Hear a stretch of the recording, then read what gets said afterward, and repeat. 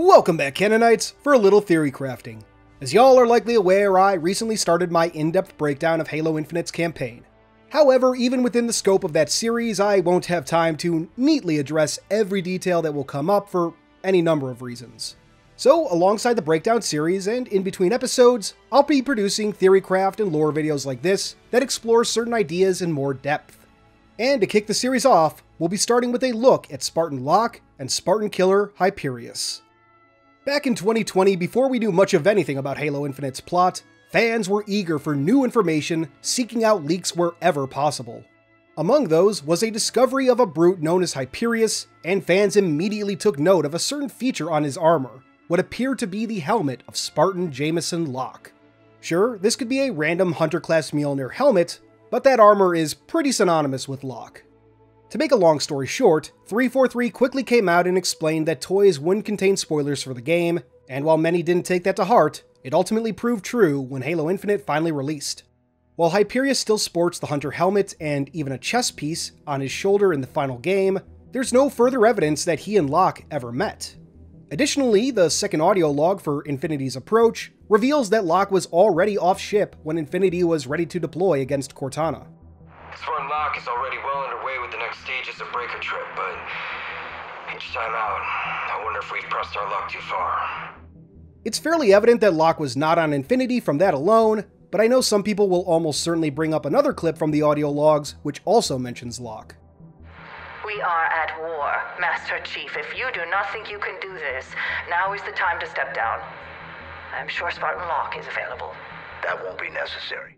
Keep in mind, this second clip is still set a day before the operation against Cortana. By the day of the operation, Locke had been deployed and was no longer on the ship. Thus, we can say with a high degree of confidence that Locke and Hyperius did not meet on Zeta Halo. Of course, the Banished attack on the Infinity occurred over a year into the created conflict, leaving a lot of potential time for Locke and Hyperius to have met. If Hyperius is indeed wearing remnants of Spartan Locke's armor, the time between Halo 5 and Halo Infinite is when that encounter would have happened.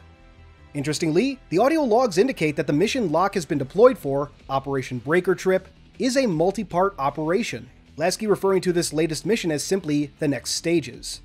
Perhaps it was an earlier part of Operation Breaker Trip where Locke and Hyperius met, and while Locke clearly escaped with his life, he may not have escaped with his armor intact.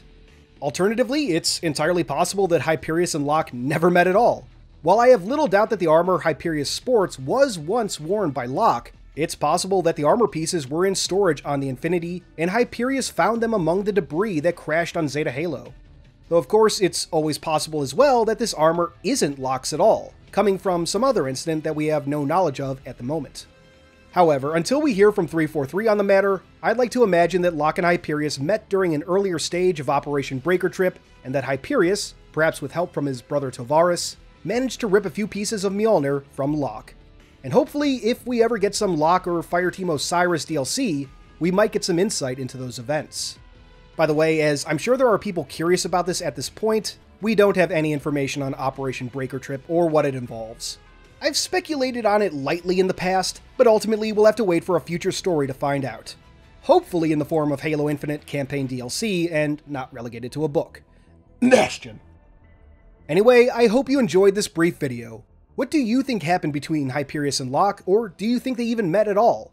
Let me know in the comments below. Thank you for watching, and until next time, this has been Halo Canon. Thank you once again for watching Canonites. If you liked this video, please give it a thumbs up, maybe even share it around, both of which help the channel. And if you aren't subscribed already, consider becoming a fellow Canonite and hitting that notification bell so you won't miss any future videos. Halo Canon now has a Discord server, which you can find linked in the description box below. If you like discussing any aspect of Halo's lore, well, that's what we specialize in. Thank you all once more, and keep on being awesome.